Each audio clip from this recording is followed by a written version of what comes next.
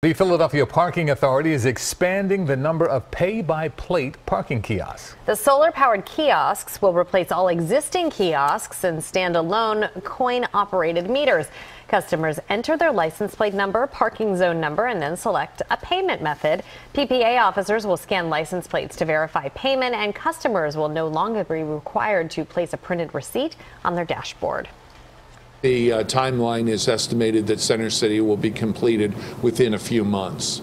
Uh, so it might take as long as the end of the summer, but it should it should be complete. And then we'll start phase three, which is the rollout into uh, areas outside Center City and University City.